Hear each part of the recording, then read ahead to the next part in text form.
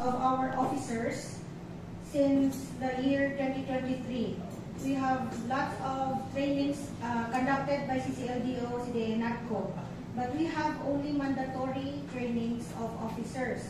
And good news is that uh, they have announced na wala na validity ang mga mandatory trainings. So, we have, I mean, why na expiry? Why na expiry sa mga 2023 mandatories? So, I have lists of mandatories nga natin sa ating mga officers. And our officers will just receive emails kung ano ang wala na atenan sa mga officers natin. And uh, as well as ang mga trainings na need for refresh refresher courses. Muna man lang na na-require nila sa buong refresher courses. So, after this, uh, emails will be sent sa mga officers. That will be all. Thank you. Thank you, Ma'am Christine. So this is the last part of our part 2 of our program. So, gutom na ka mo? No. So, ano, uh, my name's Brent Anay. So, when we go again, Mr. Uh, Godfrey T. Serfino, uh, Serfino for, uh, okay, for the pray, for, pray, for, for food.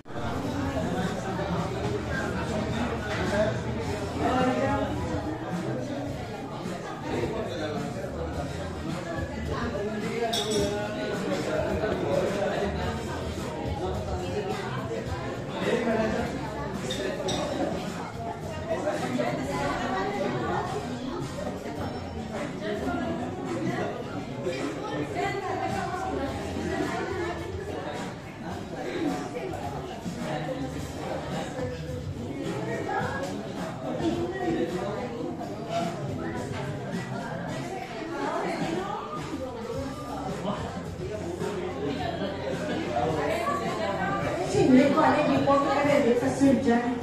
Singit ka din ako, kaisa ko ngayon, no, sa pagulong.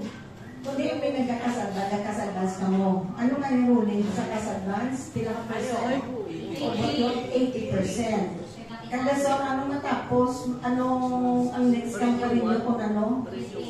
Kung fully paid. Subo hindi na. Now, kung may naging loan ka, no, may kas advance ka, kung nakabayad ka na 80%, 80% na nakadaw na sa kanilang payment na 20%, pwede ka na ka-renew. Eh, dapat si ganyo ang sinarenew na yun. Itidak lang ang 20. Oo, malansi. Para isa na lang. Hindi pwede nga duwa, kaya na po ang inyo ang funny interest. Amot galit.